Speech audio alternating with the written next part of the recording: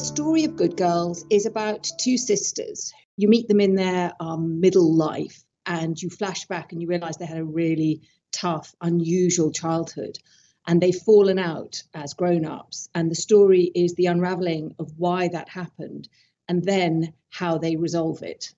At the center of those difficulties was a man. And it is all done with, but the book centers on this man making a reappearance in their lives. And it's like throwing a pebble into a pond. It sends out these ripple effects uh, over which they have no control. And the plot just gallops along with that momentum behind it. And uh, I don't want to do any spoiler alerts, but things do not end up as you expect that they will. The idea for the plot actually was I'm really interested in how we present ourselves online, which is kind of uh, pertinent to our times. And uh, I used to warn my children, you know, be careful because you have this online persona and be aware that people are going to be responding to that and be sure how much of it is you and how much of it isn't you.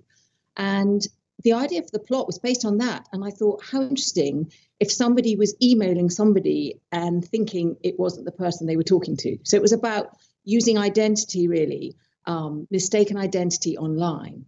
But then through that, I wanted two people to connect absolutely. So although they're not who they believe each other to be, their connection and how they communicate and how they talk in their messages is true.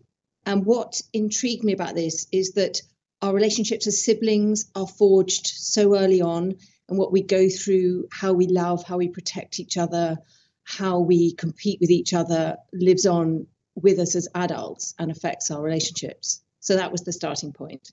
I've been writing for over 30 years. I've published uh, 16 novels, and my only little taste of a prize was early on in my writing career. I went in for the Shiva Naipaul travel writing competition, which the Spectator ran, and I submitted this piece on uh, living in Montevideo, and I came runner up to somebody called Hilary Mantel.